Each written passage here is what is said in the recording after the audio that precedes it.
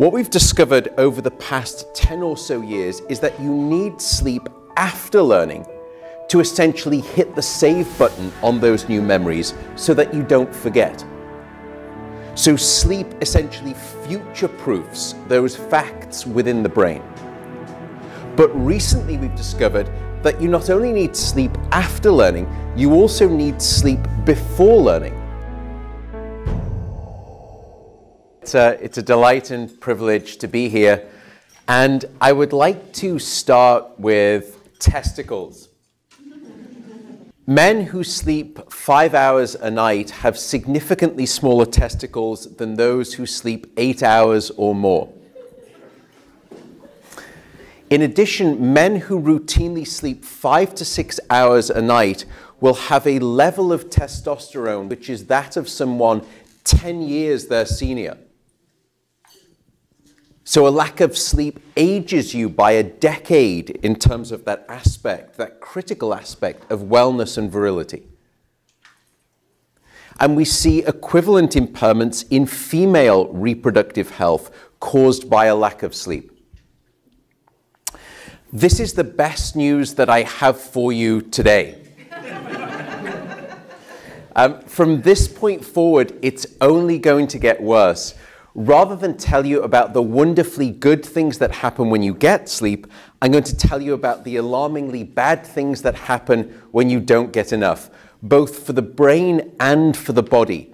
Um, let me start with the brain and the functions of learning and memory.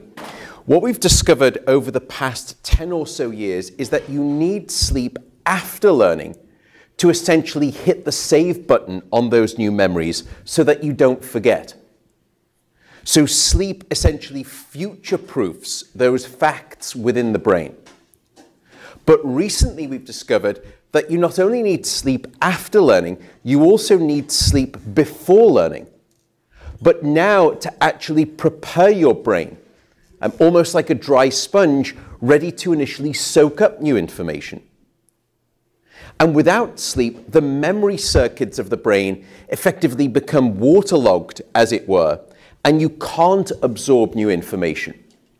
So here in this study, we decided to test the hypothesis that pulling the all-nighter was a good idea.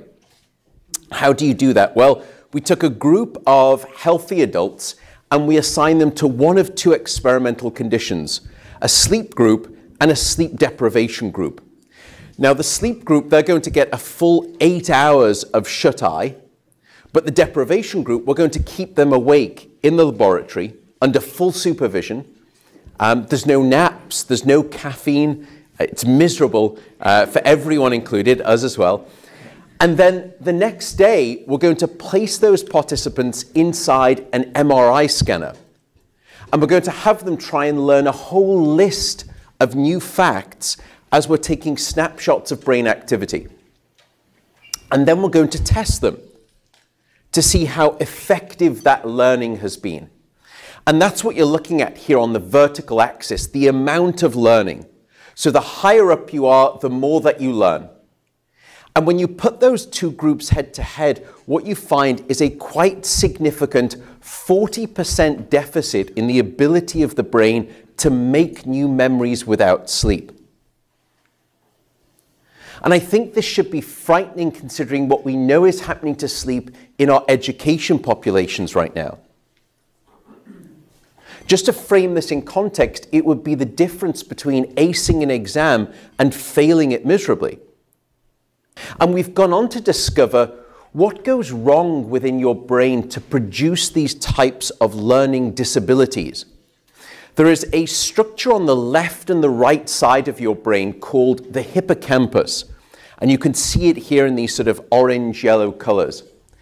Think of the hippocampus like the informational inbox of your brain. It's very good at receiving new memory files and holding on to them. And when we looked at this structure in those people who'd had a full night of sleep here in green, we saw lots of healthy learning-related activity.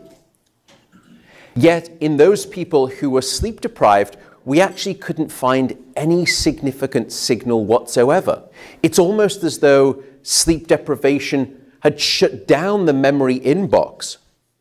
And any new incoming files, they were just being bounced. You couldn't effectively commit new experiences to memory. Thank you. Thank you so much.